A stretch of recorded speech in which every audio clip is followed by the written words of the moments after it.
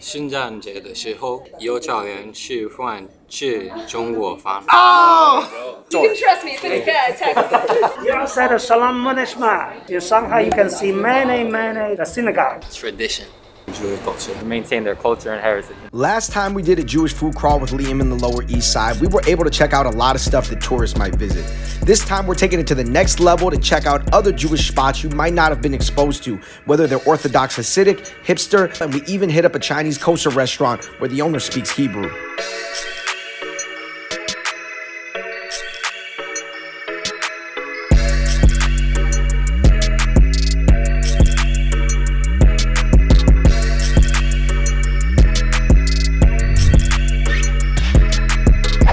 First location on this traditional Jewish food crawl part two.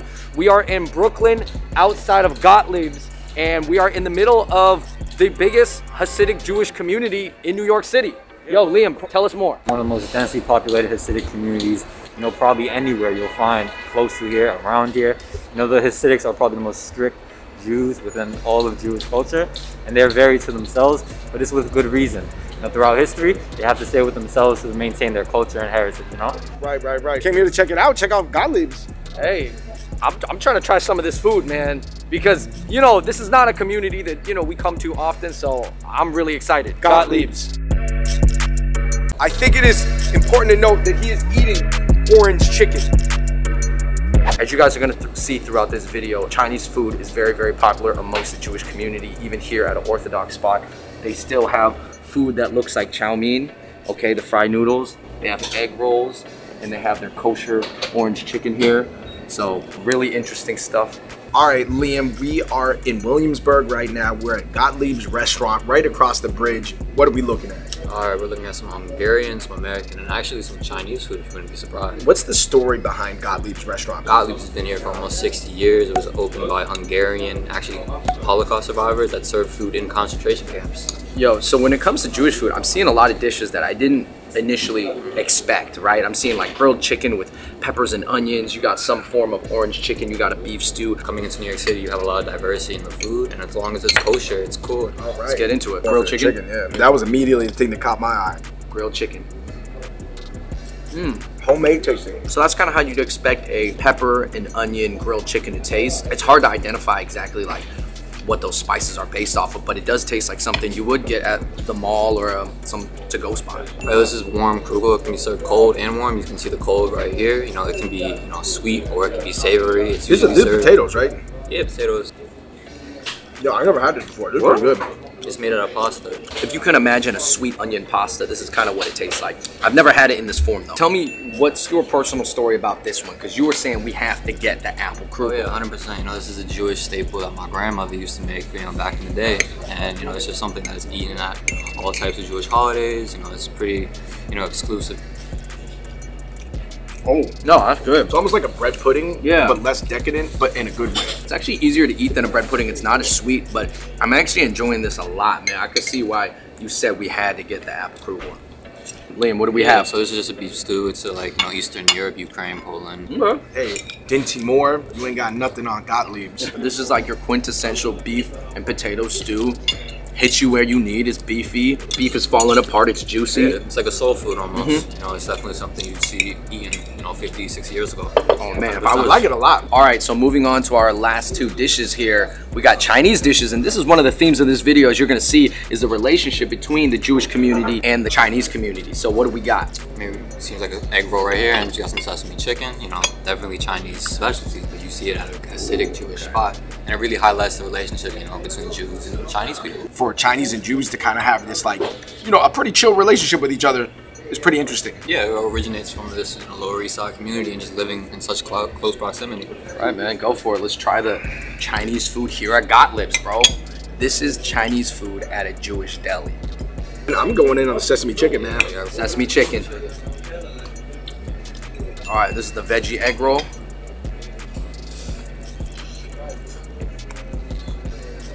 Yeah. The egg roll's good. I would say this is actually one of the better ones I've had of this version. One of the best ones.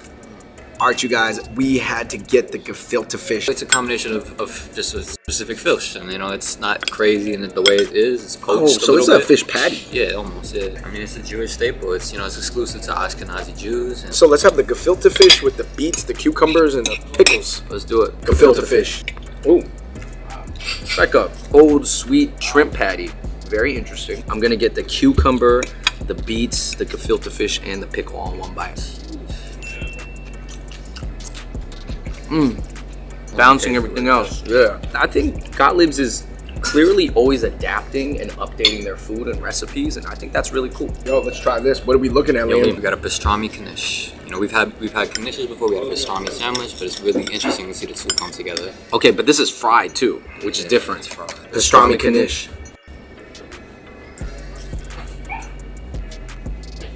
Tastes like a pastrami potato croquette. I'm feeling these beets heavy. Wow. I like the cucumbers, man. I might eat the Yeah. cucumbers with that.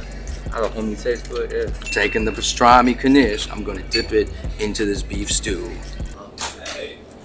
Oh no. Oh no. Well, adds a little sauce to it. All right, you guys, we're nearing our end of the meal here at Gottlieb's restaurant. Originally, I was gonna say my favorite was the grilled chicken with the onions and the peppers, but actually, I'm gonna have to just pull a little audible. I'm gonna say the gefilte fish, but you got to get it with these beets that are almost like some wasabi beets with some dill and the cucumbers. It actually kind of reminds me of pretty much like Asian food. Liam, what was your favorite? You know, the thing that I have the most memories with, you know, I connect with the most, something my grandmother used to make is the apple kugel. And it's, again, it's something that you look at and you're like, mm, I don't know about that, but like, once you get into it, delicious. Yeah, it was good. It was good. It was like a healthier bread pudding. My favorite was the thing I never had had before. It looked completely new to me. It was the warm onion kugel. All right, this is like brown sautéed caramelized onions with these square pasta pieces. Like, I'm not gonna lie, it was good. All right, you guys, that was really dope, man. This is just our first spot in the Hasidic community because we are headed to a kosher supermarket. Yo, 100%. You know, it's just around the corner. You know, it's something that I think everyone in the community is going to. It's kosher. You know, it maintains what the lifestyle is needed, and it's cheap too. So we'll see you there.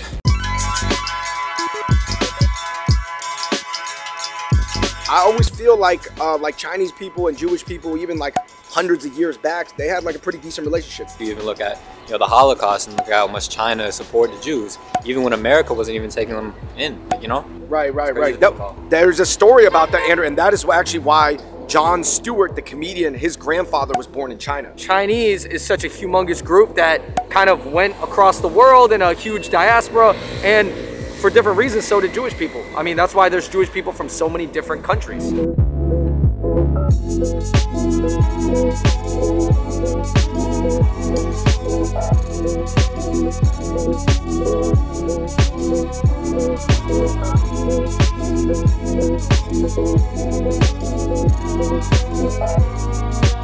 Lot of the branding in here isn't what you'd see in a normal like grocery store. We've got a couple brands here. You know, these are certified kosher and have to be slaughtered a certain way. All right, you guys, we're in the Jewish deli right now. Of course, all kosher. I'm gonna getting the smoked brisket. Yeah, can I get a little bit of all that? The beans, the potato cake, and the meat, meat and potato cake. Is that kugel? Yes, they call it. Yeah, can I get one of the kugels too? Yo, Liam's gonna be going crazy when I get another kugel. All right, young Liam. Broski, I got something for you, bro. From a different recipe, a hot kugel. Wow. A hot, yeah. Those are the little pastas that are stacked on top of yeah. each other. And you had some That's questions. sweet. Go yeah. for it. Go Yeah, for it, bro. see, I didn't know. I see, just copped it from the meat market, the kosher meat market. I was excited to try it's this too. It's steaming. Look Trying at to get that. into that. Man, I might just have to eat it with my hand. Wow, it's very jiggly. It's more, this is more like what my grandma would make. It looks a little bit more traditional. Yo, that's not bad. That's pretty good. Yo, I like you guys gotta try this. This is a uh, potato. This looks like it's almost like a smoked potato mash. Yeah. Have you had this before? Oh, never. It's really good. Has that smokiness to it, you know? Yeah, I'm gonna try that. I'm interested. Oh, but check this out, guys. I secured the kosher smoked brisket as well as stewed brisket. Kosher brisket. Man, it's falling apart. This is good. I can tell. Mmm. Bro, listen. Whoa, whoa. Sometimes with That- kosher food, because you have to follow such strict kind of guidelines on how you prepare it, Sometimes I feel like they put more care into the cooking too, because this is hella good. Some of the best brisket Yo, I that had. is some of the best smoked brisket ever. That is a banger, Wow. five out of five. Wow. It's crazy. Shout out to Satmar Meats. Satmar Meats. Wow, we're saving this. Dan, behind the camera, you're definitely trying that. All right, so this is the uh, potato thing that we had, but with meat. I think with brisket chopped into it. And then uh, over here we've got. Uh, why don't you try that? That is baked beans and brisket, Wow. kosher barbecue. Old school vibe. All right. Old school vibe. That potato and beef one, it actually tastes kind of good, but it feels weird because it's all mashed up. Let's try Yo, this. can I get the classic phrase from Jewish food crawl number one? Ah, tradition. It's tradition. It's tradition. Tradition. Tradition. Yo, the smoked brisket was crazy. I gotta say, it. listen, straight up, Satmar Meats Kosher Meat Market in Williamsburg.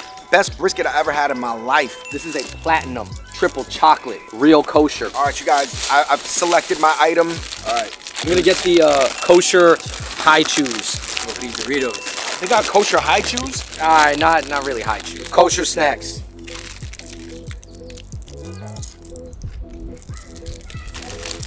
There is an expense that comes with staying and maintaining a kosher lifestyle. Yo, I gotta say, kosher products are not cheap, but you can taste the quality. The quality is there, absolutely higher than non-kosher. When we're talking about soda or candy, why there is even a kosher version? I mean, there is like certain things with gelatin and like, cause you know gelatin's made with bones of some animal. Right. This is good. I like this. Lieberman's, I'm messing with this chocolate rice cake. I prefer the kosher treats to straight up American treats. I would prefer the kosher ones. Wow. Right now in this community, do you see any parallels with Chinatown in the sense that maybe people seem a little bit more within themselves, Oh, whereas yeah. they're less um, outwardly emotional, right? 100%. You know, it's very to the community, to themselves, and you even look around and you see, you know, billboards and, and storefronts in, you know, Hebrew, and that's a lot like Chinatown. That they go to their places because they know their places and they know what they're getting, and you know they know the people around them. You have to be very accepting to who they are, and they will be accepting to you. You know, this this community gets a lot of, you know, a lot of flack for being not the most exposed and not the most, you know, welcoming. But once you get to know them, once you have a better personality with the community and better understanding of the community, they'll you'll fit in just fine, no matter who you are. I could see that making a lot of sense. Why come into this community and try to tell them how to be because we're here and they're not trying to tell us how to be. Exactly. How come for this is the first time that I've ever seen or heard about kosher burgers and kosher steaks? I mean, it's a rarity because you know, according to Jewish and kosher law, you can't have cheese and meat together. And it's. It's this whole idea of not having the animal and its product. Like you can't have chicken and egg. You can't have the cow and the milk and the cow and the cheese. And it's crazy to see a burger like that, especially with like lamb bacon, fake cheese, and a burger. It's just it's crazy to think of. If you're a Jewish person and you're just gonna break kosher law for that meal, you're just gonna go to whatever burger spot anyways, instead of trying to find this compromise that's like a kosher burger. And like it's this is a classic in America, and just having that experience is crazy. Gottlieb's and, and the people in Brooklyn that we were just around, how are they different? Like those are two different sects of Jewish Yeah, people, it's- right? Ashkenazi and Mizrahi, and there's two different cuisines. They will be surprised. They're not really, you know, accustomed to some of the stuff that is made here. Ashkenazi or people from Eastern Europe hold to their culture a little bit more, and they try to, you know, not change things because it's worked for so long and it's been such a classic in their heritage, and it's, you know, it's by kosher law. Yo, what if we brought this food over to Brooklyn, man? What do you think they would say? I mean, they might be skeptical, but if it's by kosher law, I mean, I'm sure they'll go for it. Now it falls within kosher law, man. Looks delicious. Fried onions, you have your slaw, you actually have lamb bacon, and then you actually get pulled barbecued pastrami, and then you have your beef patty right here that's made out of ribeye, and then you have your vegetables, and you have a nice little yellow soft brioche bun. Kosher smoker burger. Ooh, man. Talk about flavor. A lot of flavor in this baby right here. It's crazy how it's a burger spot in Manhattan and it's kosher and Jewish people can eat here, but it tastes like Texas. It's crazy to think like something kosher, something that is by Jewish law, is tasting like something from Texas. Tell us what made this steak kosher. The cow has to be dead when you slaughter it. Kosher ribeye. Right. Liam, have you ever had a kosher steak before in your life? Never. It's not something I'd ever really think of, even comes to my head, you know. So it's not even something that people have tried before that you know of? You can go to the store get it, but like that's crazy to think. Just walk into an establishment and take out some steak. Maybe everybody did, eat low key the kosher steaks, but they never thought about selling them. From now on, if it ain't a kosher steak, I don't want it. Bring it back. That's all I gotta say. All right, so to wrap it up here at Mocha Burger, what are some thoughts that come to mind, Liam? Looking at this food is like a new era to being kosher. Like this is not something you'd see like 20 years ago, and it's crazy to just have this and being able to consume it with kosher lard. Yo, it's like a new style and it's really, really good for a person who was never exposed to it. The market is here. You can have like a kosher version of a lot of things. We're gonna check all of them out. We're gonna see what they have to provide, you know?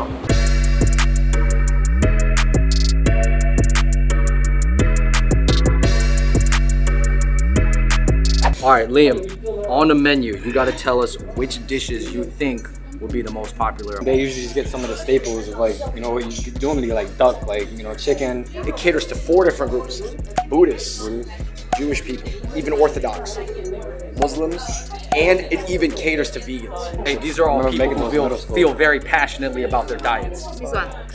计算小笼包、生 Okay, 包 okay, yeah, okay, Yeah. Okay, we're gonna get the vegan soup 买 dumplings. 那个春卷，春卷很好吃，甚至很好吃。真的超好吃的。 Okay, I'll get the general salad chicken. Oh, he showed it. He flashed it. He said, Hey, he just gave a peek, a little peek. he said, hey, we got more in the bag. Wait, guys, you didn't actually win with the Italians even.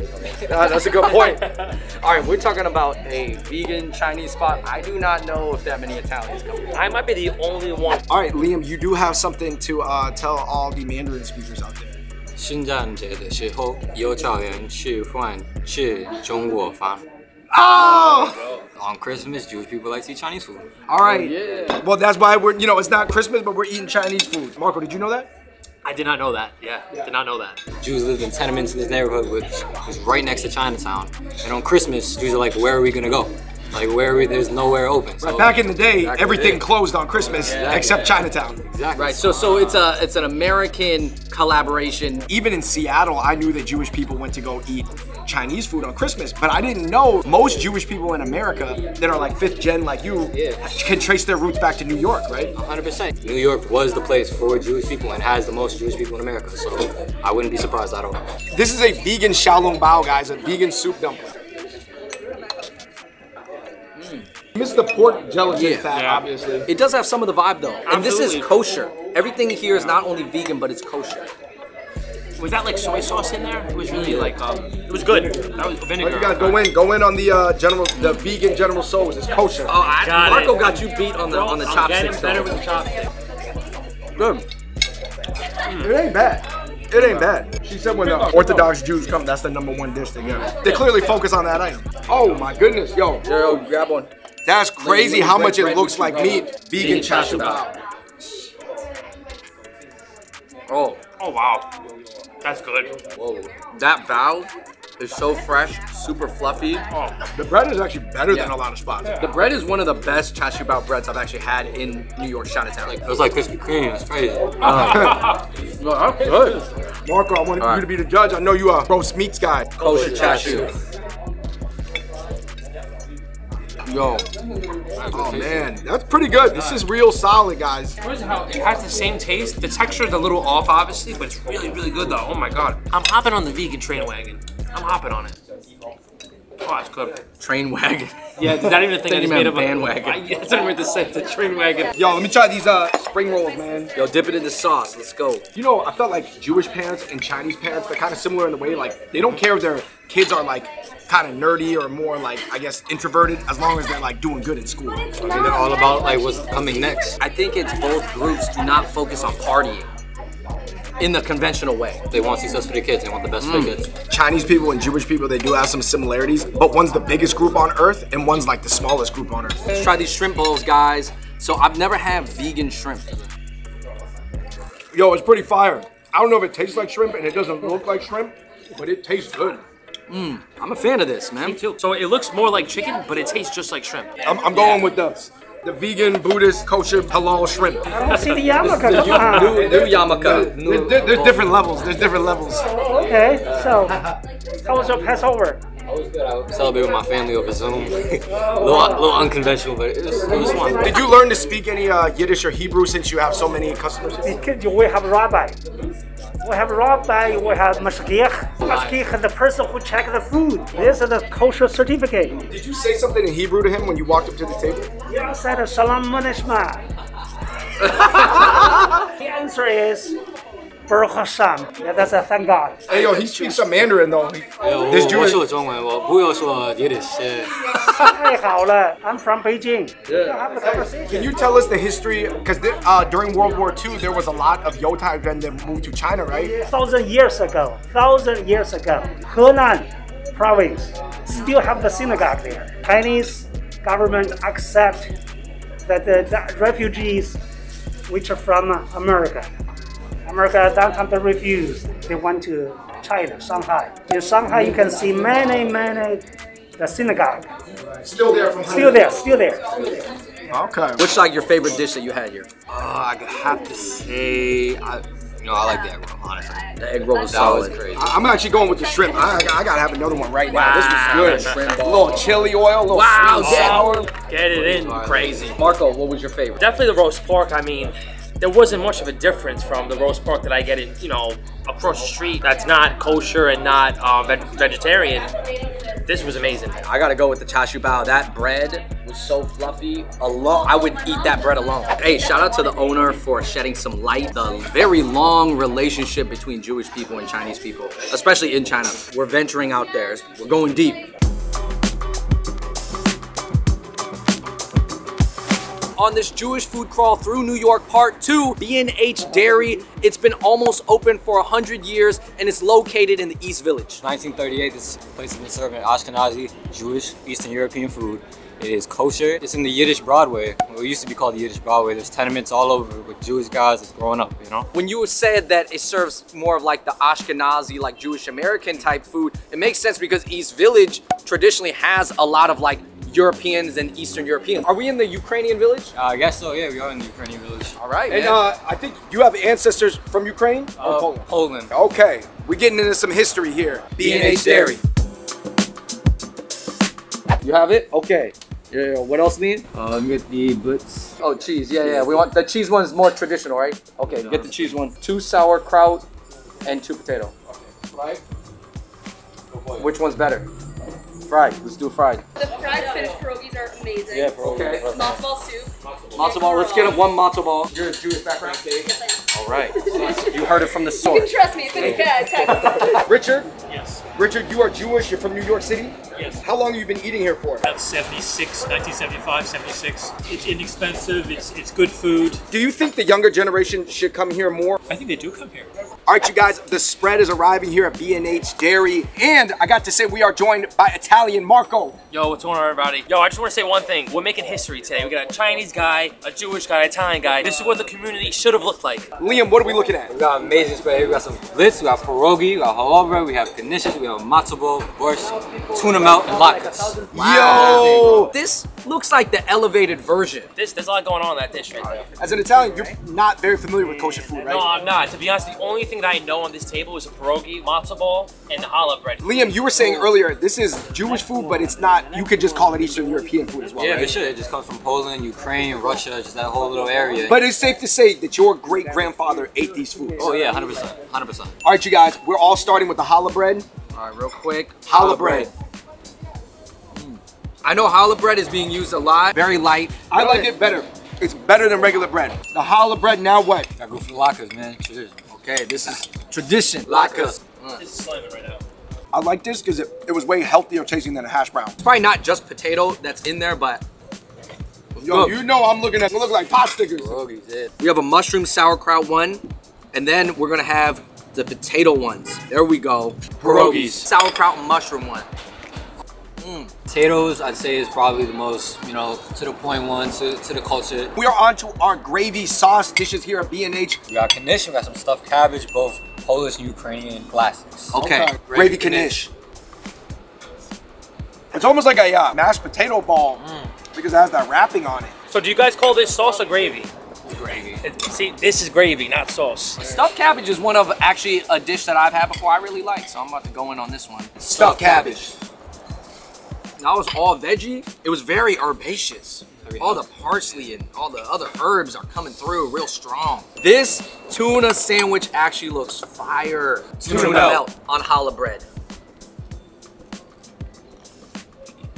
That challah bread is like nice and toasted with a little butter. This was like the best thing in 1938. That was really This good. is a top three tuna melt that I've ever had in my life. All right, you guys, we are down to our last three items here at B&H. So we got borscht right here, we got matzo ball soup, and we got blintz. This is, this is kind of like a crepe almost. It's usually more sweet, you know, you can have that savory taste if you want. Yo, maybe is that why Jewish people like egg rolls and Chinese food? Because this this kind of looks like a big egg roll. I thought it was a cannoli at first. Everybody's just referencing what they know from their culture. Cheese blitz. Damn, is this more of like a breakfast uh, food? Oh, A little after after after dinner or even Yo. during dinner, you know. This is really delightful. Yo, that cheese is sweet. I didn't expect that. So it was like a crepe. They rolled it up and then fried it. This might have been the sleeper. That's really good. Blintz was a sleeper. Yo, the texture and the crispiness of this blintz, top notch, man. With kosher foods, like you get something that is so specific that it's almost hard to find. That's why places like these are so special because back then they need something cheap and they need something that would follow their religion. So they all came in. Matzo ball soup. All right. That has a lot of dill and it tastes super natural. It's not as salty. It's not as. It's not Yeah, something that is yeah, I'm not gonna feel yeah, later. Yeah, I agree.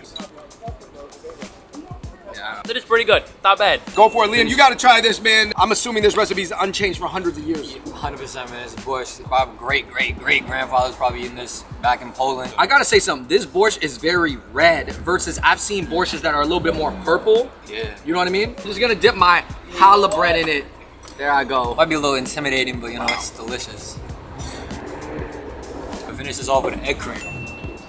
You know what my takeaway from uh, B&H Dairy is?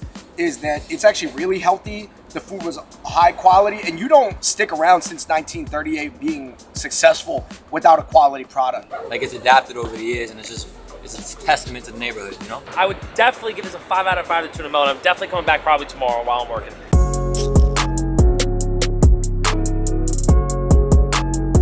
Now our next spot is called Orchard Grocer. It's here on Orchard Street over in the Lower East Side. It's started by two Jewish sisters that are vegan and they serve some kosher items, but it's not all kosher. It's definitely nice to see like a newer place representing like a more older culture, you know. But it's enlightening, you know. I'm I'm definitely gonna probably come in here once or twice. It's pretty dope to see a modern uh, kosher spot open up, and uh, the soft serve, I- I'm ready to try it. Let's go in. This is not a Jewish grocery store, but they have some Jewish items, so let's find them. Tell us about this. Matzo ball soup in a box, you know. So this is this is how you make matzo ball soup? Is I this, mean, if you want it quick at home, I guess so. Yeah, straight to the point. so this is the inbox, right? Yeah, that makes sense. Okay. Liam, I'm not saying that this is a Jewish item, but it is a pigless pork rind. Might have to get these. Hella hot. Let's get 'em. So Liam, what, what do we got over here? So we got matzah.